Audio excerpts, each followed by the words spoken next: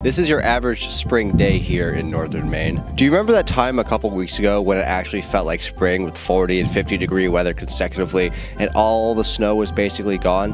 That felt like a while ago. My intention today was to do a Maine Maple Sunday video, but I got snowed in and I didn't really go to bed until after 2 o'clock trying to get out of a parking lot at 11 p.m.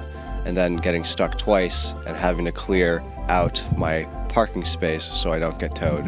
This actually happens every spring in Maine where we think we're out of the woods, but no, we're actually out of the frying pan and into the fire. I don't know what angels in heaven are responsible for the weather here, but if I had to imagine, I'd think their conversation would go something like this. Job's not finished.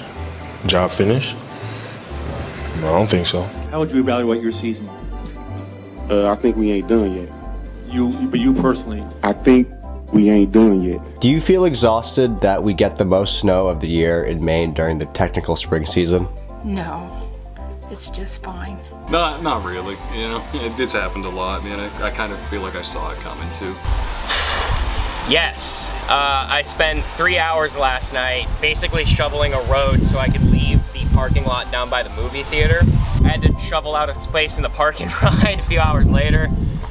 Um, first time in two years I'd ever seen the restaurant I work at, Sabity Thai, shut down.